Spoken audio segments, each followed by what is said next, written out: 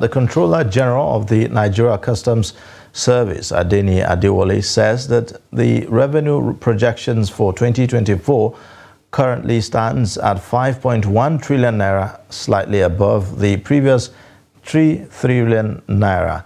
And speaking during the decoration of newly promoted officers, Adewole stated that the NCS was facing daunting challenges as the nation is looking up to the service to generate revenue to fund the national budget, as well as ensure trade facility for economic development. Remarkable year for the country. Uh, the country places a lot of uh, uh, expectations on the, on the customs regarding the issue of revenue trade facilitation.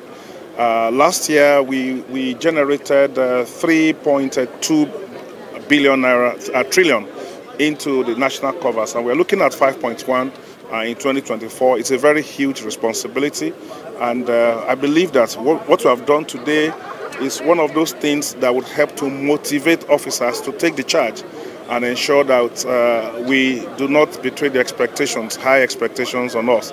Security is also very, very important.